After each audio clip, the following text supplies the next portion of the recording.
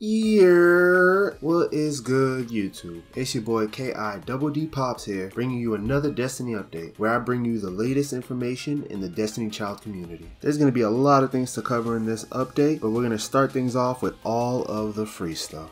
Alright, so first things first, you need to get Young Boy Horus up to level 50 for the level up project. And when you do, you'll get a thousand free crystals, three 5 star grade A weapons, armor, and accessory tickets. But you do have to complete this before June 6th. So keep your eye on your mailbox after that. Next is the get a free 5 star gotcha event due to the half year anniversary that we just hit. I mean, it's crazy that we already hit a half year in the Destiny Child game. But what you want to do is you want to head to the Destiny Child global page. I'll leave a link in the description below. You should see a cute little Davi 5 star get face. Click that and it'll take you to another page where you're gonna share Destiny Child with the rest of the world. I mean, you should have already been sharing Destiny Child with the rest of the world, but if you haven't, you're gonna link your Twitter or Facebook basically to Destiny Child. And also, you can scroll down the page to see all the five star gacha that you can get in this event. Alright, so once you choose either Facebook or Twitter, you're gonna have to do some account things that you'll see as you go through it. Then after that, you'll be able to do your first poll, and it's gonna poll just like it does in the actual game itself in that little browser window that is going to pop up. You're going to do that three times. The first time you get a child that pops up. The second time you get another child that pops up. Then you're going to have two childs on the screen at one time. You're going to choose one child to get rid of permanently and you'll keep the other one. The that one is going to move on to the next round where it goes up against the last pull that you do and then you're gonna basically pick the one gotcha that you want to keep. Every gotcha that you don't keep is permanently gone so choose wisely on which gotcha you want to carry over I would say go through your child list beforehand to see if there's any child that you want to plus up or if there's any child that you don't have and you can choose whether you want to plus one up or keep a new child that rolls out. I mean, but all the childs on the list are kind of old, so I would say just look to see what you can plus. Next, I've actually seen a few people on the Destiny Child Facebook and Twitter ask about the Destiny Child line sticker collaboration thing that they were going on. And basically, what you get is rebirth coins in your mailbox. You should have already gotten those coins in your mailbox, but if you're one of those people that just kind of, you know, receives all in the mailbox and doesn't go through to see what's in there, just check your rebirth labyrinth to see if your coins went up. And last but not least, for the free stuff is our weekly pop quiz. This week's question is, this has been with us at the beginning of Destiny Child and now it's back for a second time. You can get a free 5 star child you want by sharing posts. Guess what this is? A Share Gacha, B. Divine Gacha, or C. Split Gacha. I'll leave the answer in the description for the people that couldn't figure it out, but hint hint, it is one of the free things that I was talking about earlier. And if you kind of don't know like where to go to do that, you basically hit the menu button in the top right hand corner of your home screen in Destiny's Child. Then you're gonna want to click support and when you click support you should see enter promo code and another screen is going to pop up where you enter the promo code and boom you check your mailbox and you get your prize this week for the weekly pop quiz Alright, so basically on to the updates. The Venus vacation is here and it's brought a lot of good and so-so things with it. First things first, we're going to talk about the crossover Venus Vacation story mode, which introduces us to all the DOA girls, and it is fantastic. For one, you get a free Kasumi, a free 5 star Kasumi for just completing the story mode, and the last two levels, stage 5 and stage 4, drops 240 XP and 380 XP, which means they are a great place to level up your gotchas to max and because they upped the level count to 70 is a great way to get your account level up max too as well. So with that being said, hint hint, a good way to get Horus to level 50. And I would suggest hitting account level 70 pretty soon because Davi's got some brand new challenges for you. Hitting level 70 drops like 3k crystals right on you and you're going to definitely need those crystals if you're going to pull in the setup summon, which is awesome. RNGesus is working his magic in these pulls for people. The rates, I would say, are pretty decent for the event, and I know people definitely want Honoka and Marie Rose, so there you go, some more free crystals. Plus, while you're doing all of that, you should be collecting beach volleyballs for the other event that came along with this, the Venus Festival. And basically, you collect beach volleyballs, you can collect five of them per day, and you're gonna turn those five in on that day for that day's reward. Up in this 14 days basically. And the rewards are fantastic. You can get a total of 35 blood gems, 500 crystals, a million gold, and you get another copy of Kasumi. Next, we also got the Mona emergency support, like I said a few videos ago that we probably would, and she's bringing some banging rewards. At the end, you get like three or four, I think, no, three Soul Carta cards, and a free Marie Rose costume, and a five star pull ticket. Fantastic. I'm pretty sure that they're hitting us with all this good good because it's our anniversary and that poo poo last collaboration with Kimono and Friends, not giving us the free gotcha that JP got, and putting one of the dice rolls in the Moa Moa challenge behind a poll on the banners. And those banners were split for no reason in global, while in, I believe, in Korea and in Japan, they were all one single banner. Like, I know that they treat global like doo doo, but that was just that was just being mean. All right, and the next and final update that I'm going to talk about is the mission pass, which I do and don't like because it's like they gave us incentives and other things to do, but then hid all the valuable things behind a paywall. And what I mean by that is basically the mission pass is, I want to say, 75 to like 85 80% you know free to play like everything in there a good amount of things in there you can just do by playing the game, by playing through the regular story, by leveling up, by just you know, doing dailies basically. And then they have the other 25% that are stuck behind a paywall. Like, for instance, the Wodan limited time mission. The first thing, it, it has great rewards. You get 2,000 crystals, you get 15 times 3 Onyx and a free poll ticket, but you have to pay $43, and that's basically the same exact thing as a Devil's Pass.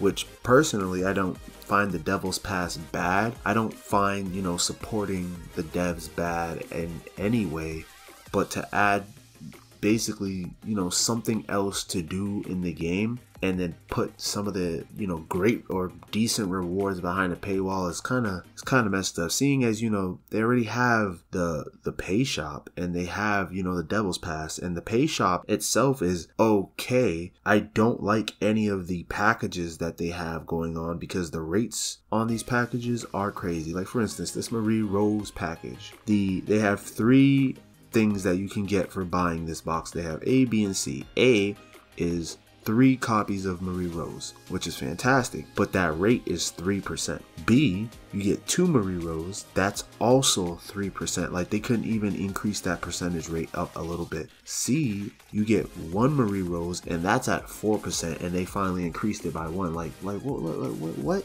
And then D, you just get a five star summon ticket, and that is at 90% for that summon rate. That's crazy. And you're paying $43 for this box to potentially get a copy of Marie Rose. I mean, I think I'm pretty sure you get another costume for her when you buy the box, but it's not really worth seeing as they just updated the Rebirth Labyrinth with more costumes in the costume shops that you can buy. And it's like old stuff, like not even old stuff, like recent ish stuff. Like they added Gambler Jutsu, the Gambler Jutsu, Gambler Jupiter, the female costume for him. And that was like what?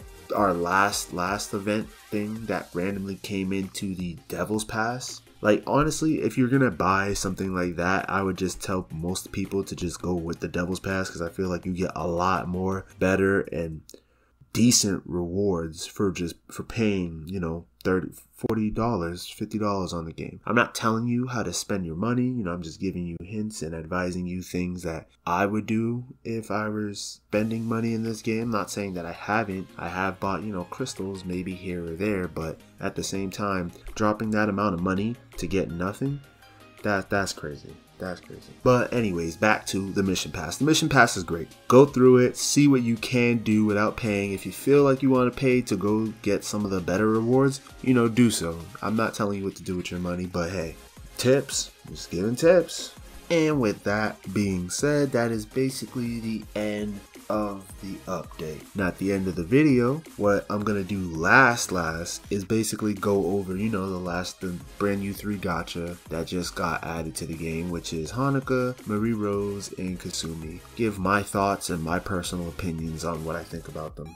So first off, I'm gonna start off with Honoka. Honoka is a fire healer, power 2000 30. Well, my, my Honoka's power is 2030, health is 2000, attack is meh, defense is meh, agility is meh, crit is meh. Let's just go to her skills.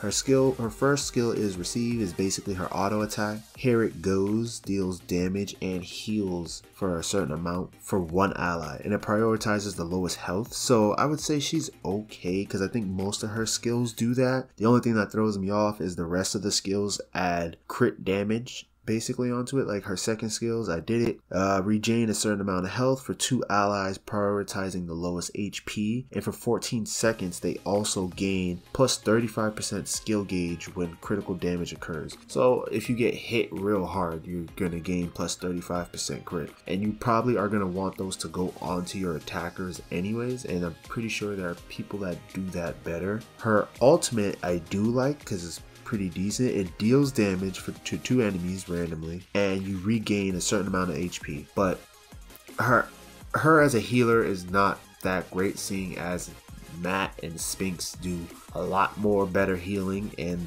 fortitude, basically.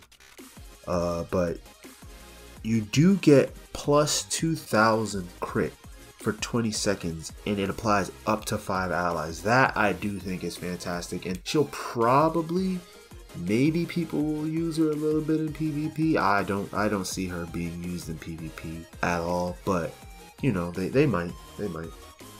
Next, we're moving on to Kasumi. Hashtag Bay, hashtag the gacha that I really wanted. So getting her, I got happy because I do I'm not even gonna go into her stats because I think it's more random that based off of what you equipped onto them and stuff, but we will talk about her skills, and I think that her skills are pretty decent. Like in collaboration with another strong gotcha, the number one, like, you know, scary people to run into Eve, she does pretty well. Alright, so her first main skill is this is it. We're not going to talk about her, you know, auto attack damage one. I'm just going to start skipping that. This is it. Deals damage, deals an extra bonus damage on poison targets, which is fantastic because I believe his name is Frey. I might be butchering it, or his name basically, but Frey pops the dot damage off of E if you use them in conjunction with each other. While Kasumi doesn't pop that poison, she just adds extra damage onto the fact that your opponent would be already poisoned. So I think that she will actually might show up a little bit in some of the PvP builds because basically the, the PvP builds right now are all basically the exact same thing. Everybody's using Eve, Olga, uh, Spinks, Matt, and Diana those five people usually are going to be recurring in almost all the top teams. I think so, or as far as I know. And her ultimate is she deals a certain amount of damage to four random enemies with an extra bonus 700 damage and gains evasion for 40% for 20 seconds. So that that's crazy. That's crazy. If you basically if you hook her up, I can see her being used in PvP. I think she will actually be a good gotcha because most of the collaboration gotcha don't usually turn out to be lasting gotcha. Like I if I am correct, I don't think I am. In the Korean version of Destiny's Child, Diana is still one of the best tanks in the game. But I I, I don't know. I don't know. I, I don't pay attention to the Korean meta, but hey that's saying something. Oh, and I forgot to say, uh, Kasumi is a water attacker, hence why I talked about her with Eve, because Eve is also water, and Cheng E, like I like a dummy, I forgot to mention Cheng E, the real reason why PvP is the way it is. All that in conjunction with each other, it'll be pretty crazy. It'll be pretty crazy. All right, and next up is trash. It's Marie Rose. She's trash. She's trash. No, no, no, no. I'm just, I'm just, I'm completely messing around. I just wanted to make one of my friends mad. I know he is right now. Haha. Try again. Keep pulling, and you'll get her, fam. Anyways, Marie Rose, I actually think out of all three of the DOA collaborations, gotchas, that personally she's the best. Personally, uh, she does a lot of things that in. I'm looking at this from a PvP standpoint. That's what I do in most gotcha when I get them. I do do have like teams that I made that are just because I like the way those gotcha look, and that's about it. But on the PvP, when I want to get a tiny bit serious, I do have my team that I made specifically to win and I believe she can do that. She's pretty good. Like her Yae, her yay ability, uh, deals damage and gains skill damage defense plus 20%. It removes after 24 seconds or upon taking three attacks, but it's a great way to time against certain abilities that will just, you know, eat your health or eat through your shield. I mean, eating through the shield doesn't matter, but eating your health does, you know. Next, Let's Dance. Deal damage to a target and grant fortitude removes after 14 seconds or upon taking two attacks to three allies excluding herself and gains silence evasion for 14 seconds. So she's a wood defender. I completely forgot to mention that, but that's crazy. Her in conjunction with Spinx would probably be just so, so, so annoying if you can get, you know, her like what plus three with max 60 yeah that will that will be pretty annoying that they can both just hand out fortitude on a constant basis so you can just juggle between both of them. And then on top of that she adds silence evasion so olga is gonna be like out of the out of the question. You won't be able to use him. Next is let the red rose and bloom for blood bloom forth this one is this is this is wild. Deals damage to two random enemies and grants plus 40% defense for 20 seconds and damage over time debuff evasion plus 50% for up to 5 allies. Basically, you can't deal no damage to them or barely any damage whether fortitude is up or not. And then the, the debuff evasion is crazy. That means no whatever it was a curse which is the new debuff that got brought in and then there's basically Eve, so you can't bleed anybody. So I think personally, she's one of the best PvPs gotcha in this. I don't think that they're gonna be meta relevant. They might be. I mean, I'm probably gonna use Marie Rose on in PvP. But I don't know about everybody else. Kasumi, yeah, Kasumi would be pretty good. I don't think Honoka, not so much, especially being a healer and you have Mats and Spinx. But hey, these are all my opinions. These are all my opinions. Take them all with a grain of salt. Alright guys, and with that, it's time for your boy to head out. So stay lucky, save wisely, and let RNGesus be your guiding key.